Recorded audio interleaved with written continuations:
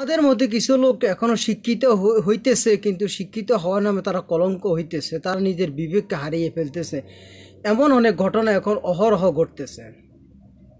একটি বাস্তব ঘটনা দিয়ে আমি আপনাদেরকে বলতেছি, সেটা হলো ছেলে ইঞ্জিনিয়ার হলো, বিয়ে করেছে, বাচ্চা আছে, এখন সে একটা বিল্ডিং করার দরকার। তখন সে কি করল? বিল্ডিংয়ের কাজ শুরু করে দিল। শুরু করার পর তার বাবাকে বলল যে, আমি তো ঢাকায় থাকি, আমি তো আসতে, আসতেছি, যাইতেছি। আর এরই মাঝে দিয়ে যদি এদের, এখানে মেস্তুরিদের যদি যা কিছু দরকার হয় আপনি এনে দিবেন, নাস্তা যত কিছু দরকার আপনি এনে দিবেন। এদেরকে দেখাশোনা করবেন, আমি ঢাকা চলে যাচ্ছি এগুলো। তখন তার বাবা বলল যে, আমি তো হাঁটতে পারতেছি না, আমি এত কষ্ট করি, আমি লাঠির উপর ভর দিয়ে আমি চলতেছি, আমি কীভাবে বাজারে গিয়ে তাদের জন্য এই সদাই আনব, ওই সদাই আনব? আমার পক্ষে তো এত কিছু সম্ভব না। ছেলেটা বলল যে, আমি তো আপনার জন্য ওষুধ কিনতেছি, আপনার কাপড় চোপড়, খানা সবগুলো তো আমি দেখতেছি, আমি তো কখনো এই কথা বলিনি। আপনারা বলছি এদেরকে একটু দেখাশোনা করার জন্য। তখন তার বাবা সর্বশেষ একটা কথাই বলল যে আমি যদি কাজ করতে হয়, তাহলে আমি তো কাজের অভাব নেই। আমি অনেক জায়গাতে আমি তো কাজ পাই। তোর এখানে আমি কাজ করে খাওয়ার জন্য কি দরকার আছে? এই কথাটাই বলল। এটাই ঘটনা এখানেই শেষ নয়।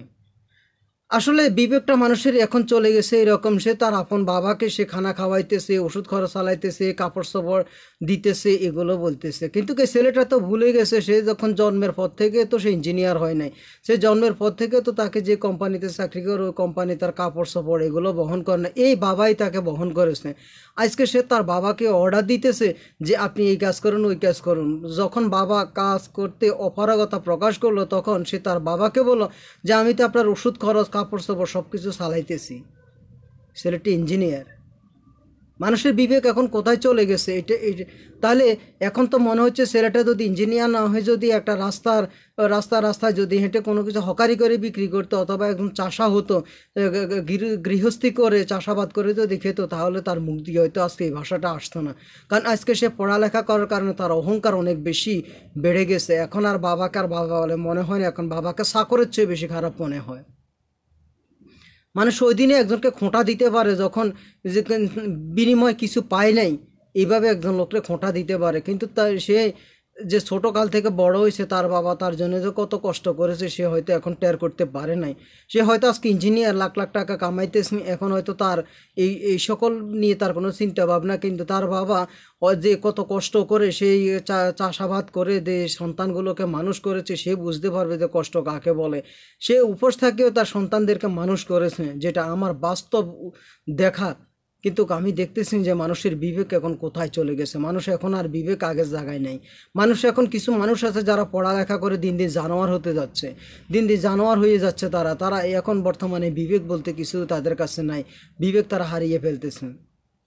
এই ধরনের সন্তান যে সকল সংসারে জন্ম হচ্ছে, ওই সকল সন্তানের জন্য একটা অভিশাপ থেকে যাচ্ছে। অভিশাপ যদি আমি না দিই, হয়তো আরেকজন দিবে, আরেকজন হয়ে আরেকজন দিবে।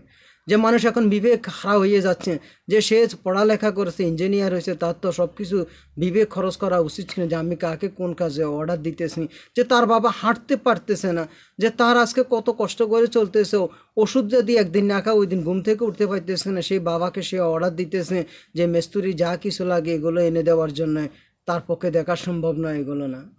ঠিক আছে, তার বিল্ডিং করার দরকার, সে অন্য ব্যবস্থাও নিতে পারতো, তাই বলে বাবাকে সে চাকর হিসেবে ব্যবহার করবে। এটা কোন ধরনের সন্তান এগুলো? তা আমাদের সমাজে যেন এই ধরনের সন্তানের যেন জন্ম না হয়, আপনারা সবাই দোয়া করবেন এটাই যে সকল সন্তান যেন অন্তত ইঞ্জিনিয়ার না হয়ে যেন চাষা চাষাবাস করে, যেন চাষির ছেলে হলো যেন বাবার সাথে ভালো ব্যবহার করে, এটাই মঙ্গল। ইঞ্জিনিয়ার হয়ে এইভাবে বিবেক হারা হয়ে বাবাকে চাকর হিসেবে ব্যবহার করাচ্ছে অনেক ভালো। আপনারা সবাই ভালো থাকুন, সুস্থ থাকুন। ভিডিওটি অনেক লম্বা করার কথা ছিল, কিন্তু বিশেষ কারণবশত আর কথা বলতে পারতেছি না, এই ভিডিওটা আর বড় করতে পারতেছি না। সবাই ভালো থাকুন, সুস্থ থাকুন। সালামু আলাইকুম রহমতুল্লাহ ওবরাকাতহ